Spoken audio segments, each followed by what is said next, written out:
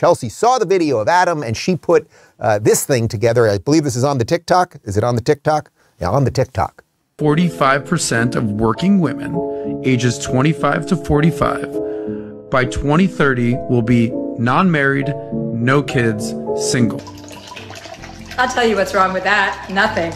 I usually don't do things like this, but when I have to listen to men talk like that, I have no choice but to sedate myself with drugs and alcohol. Lately, I've been loud and proud about my status as a single, unmarried, childless, wild woman.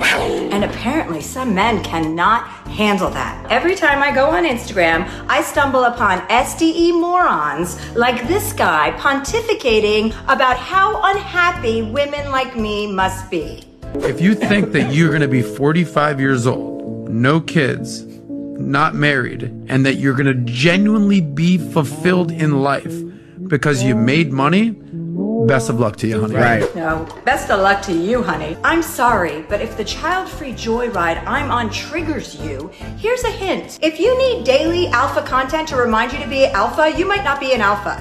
Take it from an alpha. And the truth is, studies show that single women live longer and are happier. You want to know why? Because they wake up every day and they don't have to listen to dipshits like you. Anyway, I have to go because my single, unmarried is about to perform at my sold out comedy show. I'd invite you, but there are no tickets left. Bye. Man, it's so interesting because there, there's really a lot here. Uh, first off, Adam's going into some actual numbers on this stuff, and we're going to give you some more numbers on this related to depression and a bunch more.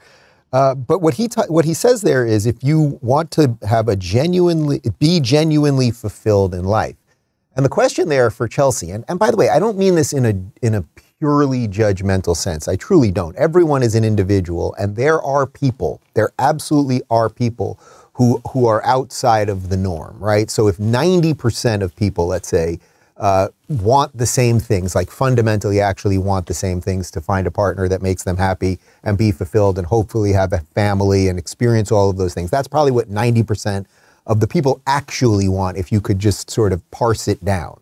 Uh, but of course, there are people on the margins who can be fulfilled in other ways. Uh, Patrick Bet David, who is uh, Sosnick's on his uh, show every day, uh, said this on Twitter. I thought this was quite good. Childless women are 46% more likely to report higher depression compared to mothers. Some are childless by choice, some can't get pregnant.